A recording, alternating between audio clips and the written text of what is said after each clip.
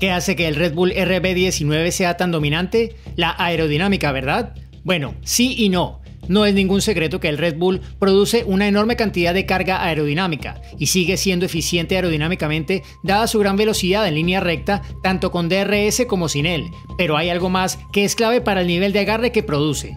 ¿No estás convencido? Bueno, el año pasado, en una entrevista con Mark Hughes de The Race, la leyenda del diseño de Red Bull, Adrian Newey, hizo la sorprendente revelación de que su enfoque era la suspensión delantera y trasera. Es una pista sobre un aspecto clave que ha hecho que tanto el Red Bull del año pasado como el de este año sean tan fuertes, y basarse en la plataforma aerodinámica del año pasado ha ayudado a Red Bull a dar este año un paso más grande en cuanto a rendimiento respecto a lo que sus rivales creían posible. Pero aunque la atención se centra aquí en el diseño de la suspensión de Red Bull, no se trata de los niveles de agarre mecánico. Todo en un coche de Fórmula 1 está conectado cuando se trata de rendimiento, y por lo general no es una única cosa. Pero el hecho de que Newey, posiblemente el mayor genio del diseño de la Fórmula 1 de los últimos 30 años, reconociera la importancia del diseño de la suspensión, apunta a un aspecto clave de la ventaja de Red Bull que sus rivales han pasado por alto. Se ha hablado mucho de que Red Bull ha dado con el concepto de coche óptimo para este reglamento. Se habla sobre todo de las rampas descendentes en los pontones que la mayoría de los equipos de la parrilla han seguido en mayor o menor medida, con Mercedes y Ferrari como las notables excepciones al menos hasta ahora. Por eso Ferrari ha admitido que su concepto tiene un techo más bajo que el de Red Bull y Mercedes admitió al principio de la temporada que necesitaba cambiar de dirección en el diseño de su coche. En ambos casos, pensaron que sus diferentes enfoques podrían desarrollarse lo suficiente como para vencer a Red Bull, pero subestimaron su potencial de rendimiento. Luego llegamos a Aston Martin. Su coche ha sido un poco injustamente caracterizado como una copia del Red Bull de 2022 por Red Bull, pero no lo es. Como explicamos en profundidad en otro video, el Aston Martin AMR23 no es una copia exacta. Sí, tiene esos pontones descendentes, similitudes en la filosofía del piso y presumiblemente en su diseño bajo el piso, pero hay una diferencia fundamental, la suspensión. Cuando el Red Bull se lanzó el año pasado, dio la vuelta al guion de la geometría de la suspensión. En lugar de la configuración pushrod en la parte delantera, el diseño de Nui era pullrod y en la parte trasera, en lugar de pullrod, era pushrod. Esto se ha mantenido este año. Mientras tanto, Aston Martin tiene lo contrario, con pushrod en la parte delantera y la configuración pullrod de Mercedes en la parte trasera, gracias a su asociación técnica con las flechas de plata. Ahora bien, no se trata solo de cómo se acciona el balancín en la suspensión, tirando o empujando, de ahí los nombres pullrod y pushrod, sino de toda la geometría. Hay otras diferencias muy significativas. Lo que Red Bull ha sido capaz de hacer es emplear configuraciones extremas anti-dive y anti-squat para darle una ventaja aerodinámica clave al mantener su plataforma mecánica en una ventana muy precisa. Por eso, incluso Aston Martin, con un coche muy similar en concepto al Red Bull, sigue estando en desventaja. El anti-dive y anti-squat en sí mismos no son ni remotamente nuevos, son geometrías bien entendidas y el beneficio de tal control de la plataforma es bien conocido por cualquiera que esté mínimamente familiarizado con los sistemas de suspensión de los coches de carreras. Todos los equipos de Fórmula 1 intentan controlar la plataforma con la mayor precisión posible. Esto se debe a que cuanto más consistente sea la actitud del coche, mejor será para el rendimiento aerodinámico. Por eso la suspensión activa era tan eficaz antes de que se prohibiera a finales de 1993. También es la razón por la que los complejos sistemas hidráulicos proliferaron más tarde en la Fórmula 1 a medida que los equipos encontraban otras formas de controlar la plataforma para ganar en aerodinámica. Pero el reglamento se ha endurecido poco a poco, para 2022, el reglamento de suspensiones se simplificó, tanto en lo que respecta a las configuraciones permitidas como al uso de actuadores hidráulicos y los conocidos inerters. Eso significó un mayor énfasis en el anticuado control mecánico de la suspensión. Ahora bien, Red Bull tiene un buen control de la plataforma mecánica el año pasado y corrió con una suspensión delantera anti-dive extrema.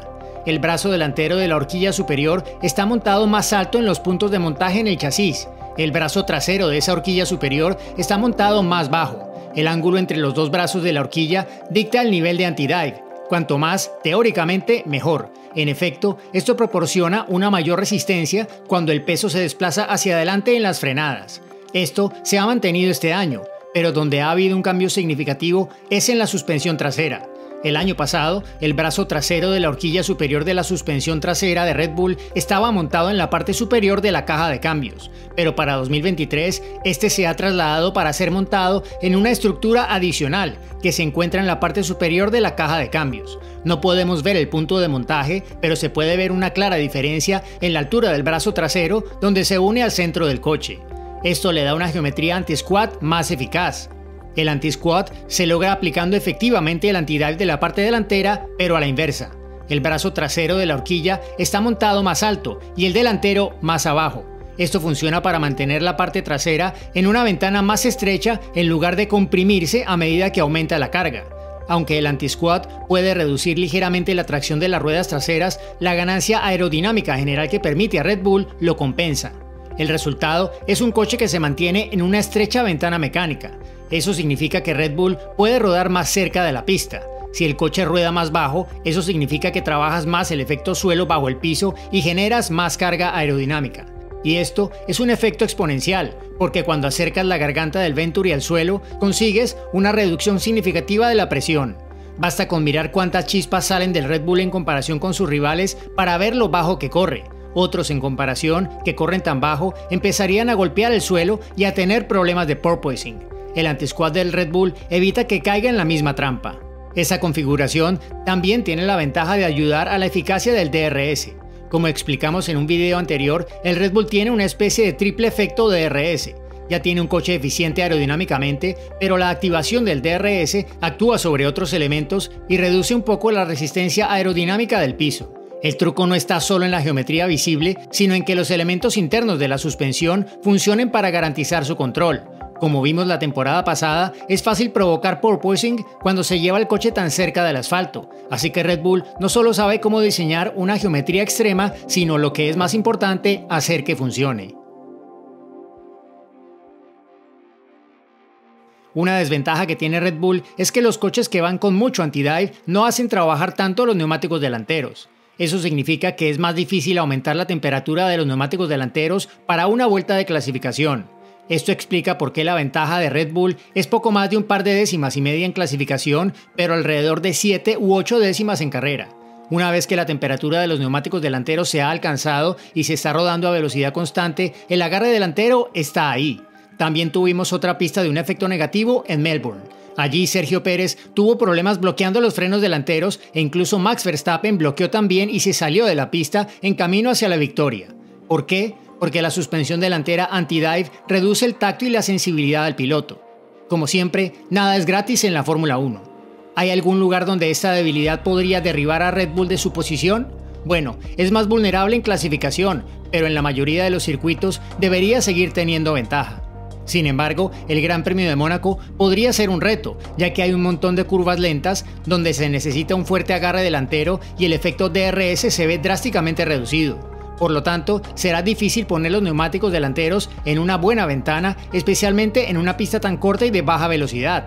Pero eso no significa que Red Bull no vaya a estar al frente en Mónaco, simplemente que podría ofrecer una oportunidad a Ferrari, Mercedes o Aston Martin de superar a los Red Bull en clasificación y luego controlar la carrera, aunque Red Bull sea más rápido el domingo pero cuando se diseña un coche es para que sea fuerte en el mayor número de circuitos, y dado que se requieren grandes cambios para introducir esa geometría de suspensión, es poco probable que otros equipos puedan hacerlo durante la temporada por el límite de costes. Así que podemos esperar que otros sigan esta dirección el año que viene. La pregunta es, ¿qué novedades presentará Red Bull para dar un paso más en 2024 mientras los demás se ponen al día?